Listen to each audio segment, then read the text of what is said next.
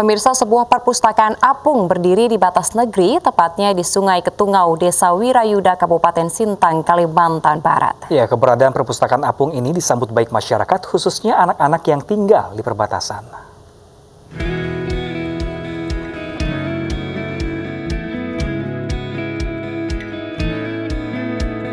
Inilah perpustakaan apung yang diresmikan Dandim 1205 Sintang Kalimantan Barat yang juga sekaligus sebagai dan Satgas TNI Manunggal Masuk Desa atau TMMD 109. Perpustakaan apung ini memiliki ribuan buku bacaan yang bisa membuka wawasan bagi anak-anak agar memiliki pengetahuan yang sangat luas. Apalagi di wilayah perbatasan negara belum memiliki perpustakaan global sehingga membuat minat baca anak-anak perbatasan sangat minim.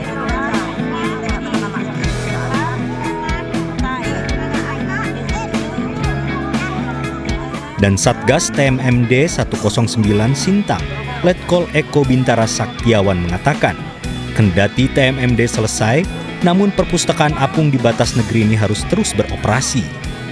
Sebab TNI memiliki tanggung jawab untuk menyiapkan generasi masa depan yang lebih baik. Merasa bertanggung jawab untuk bagaimana menyiapkan generasi di masa depan. Karena generasi uh, muda yang sekarang ini adalah tumpuan kita nanti di masa mendatang. Bagaimana memajukan negeri ini, membentengi negeri ini uh, melalui ilmu pendidikan. Ya, bahwa buku adalah sumber ilmu. Dengan menggunakan masker dan menerapkan protokol kesehatan, anak-anak antusias membaca buku-buku yang sudah disiapkan